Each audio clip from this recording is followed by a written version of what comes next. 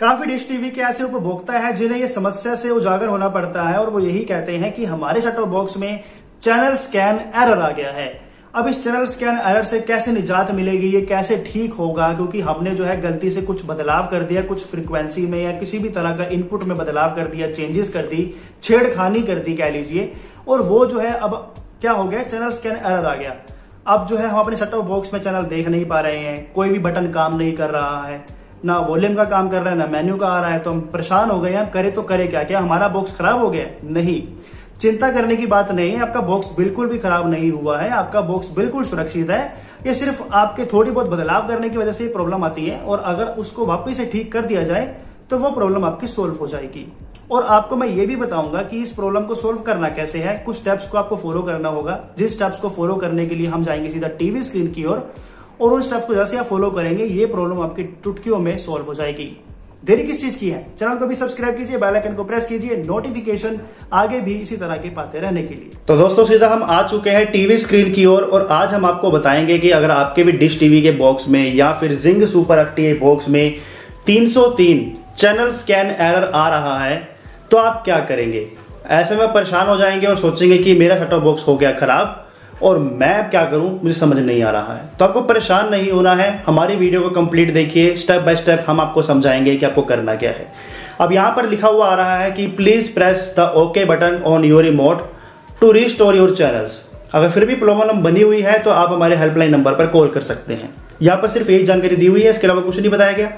अब आप क्या करते हैं? रिमोट से ओके बटन प्रेस करते हैं। ओके प्रेस करेंगे तो यहाँ पर जो चैनल सब आपके स्कैन नहीं होते और आप हो जाते हैं परेशान। यहाँ पर लिखा हुआ जाएगा नो चैनल और आप परेशान हो जाएँगे। तो आप सोचेंगे कि अब करें तो करें क्या?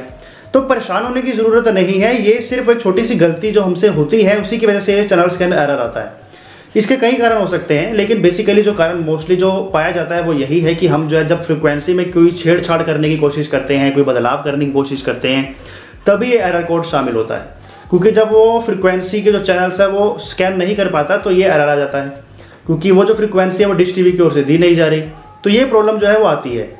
आपको करना कुछ नहीं है। अगर इस प्रॉब्लम को आप सोल्व करना चाहते हैं तो आपको ओके बटन दबाने की ज़रूरत नहीं है।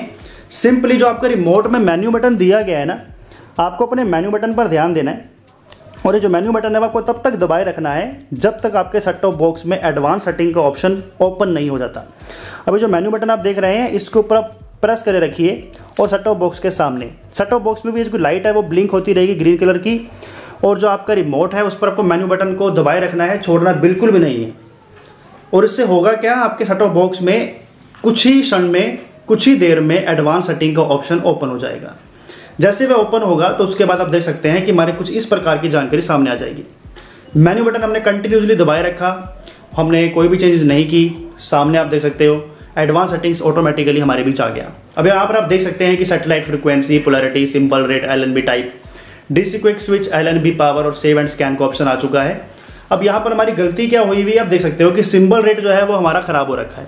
सिंबल रेट जो है इसका रहता है two seven five double zero, जो कि डिफ़ॉल्ट फ्रिक्वेंसी है। सामने भी आपको मैंने मेंशन कर दी है, यही फ्रिक्वेंसी आपको डिश टीवी की रखनी है। अगर आप कोई और फ्रिक्वेंसी रखेंगे तो आपके प्रॉब्लम आएगी। इसलिए कृपया करके जो फ्रिक्वेंसी सामने हमने आपको दिखाई है, यही फ्रिक्वेंसी आपको रखनी है। फ्रिक्वेंसी रहेगी one two six double eight, polarity रहेगी वर्टिकल, और सिंपल रेट जो रहेगा वो रहेगा two seven five double zero. हमारा यहाँ पर गलत हो रखा है। और यही वजह से जो है हमारे को चैनल्स के एरर आया। अब सिंपली हम उसको करेक्ट कर देंगे, सही कर देंगे। Two seven five double zero हमने कर दिया। आप सामने देख सकते हैं। अब हमारी कोई भी चेंजेस करने की ज़रूरत नहीं है। यूनिवर्सल एल भी रहेगा। डिस्क क्विक स्विच हम यूज़ नहीं कर रहे हैं। इसके लिए हम उसको नन रखेंगे। अगर आप यूज़ कर रहे हैं तो आप यूज़ कर सकते हैं, लेकिन फ़िलहाल मैं इसको नन रखूँगा। एल पावर आपकी ऑन रहेगी ताकि चैनल्स को स्कैन कर पाए वो। अब सिंपल आपको कुछ नहीं करना है सेव एंड स्कैन कर देना है। उसके बाद देखेंगे, चमत्कार होगा। तमाम चैनल्स आपके वापस आ जाएँगे। क्योंकि जब आप हेल्पलाइन पे कॉल करते हो तो वो कहते हैं, आपके सेटअप बॉक्स खराब हो गया, ये हो गया, वो हो गया. लेकिन आप सामने देख रहे हैं कि सीरियल हमें ग्रीन मिल चुके हैं और तमाम चैनल्स हमारे स्कैन होने शुरू हो गए रेडियो के भी और टीवी के भी। डिश टीवी के तमाम चैनल्स आप देख सकते हो कि हमारे सेटअप बॉक्स में स्टोर हो गए और करीबन 549 चैनल्स हमें प्राप्त हुए हैं और रेडियो के भी चैनल्स करीबन 48 हमें प्राप्त हुए हैं। अब सिंपली करना कुछ नहीं है रिमोट से ओके बटन प्रेस कर देना है। जैसे आपने ओके बटन प्रेस किया, आप देख सकते हो कि हमारे तमाम चैनल सेटअप बॉक्स में वापस आ चुके हैं। तो देखा आपने दोस्तों कितना आसान तरीका था चैनल स्कैन एरर को ठीक करने का, और यहाँ पर आप बेना वजह ही परेशान हो रहे थे। मुझे उम्मीद है ये वीडियो आपको काफ़ी हेल्पफुल लगी होगी, काफ़ी आपकी मदद की होगी इस वीडियो ने। कृपया करके चैनल को सब्सक्राइब अभी करें, आपके सपोर्ट की हमें आवश्यकता है, और इस वीडियो को लाइक भी ज़रूर कीजिएगा, और शेयर भी अपने डिश टीवी के ग्राहकों के साथ अपने दोस्तों में शेयर ज़रूर कीजिएगा। नमस्कार।